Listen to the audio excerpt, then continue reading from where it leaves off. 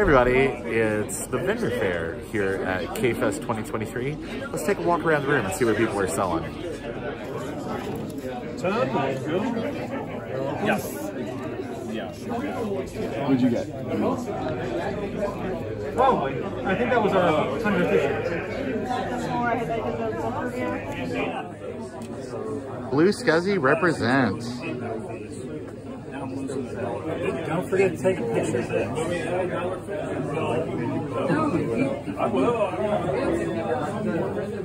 You ever hear when James Littlejohn brought his And like, they can't tell me why. last one?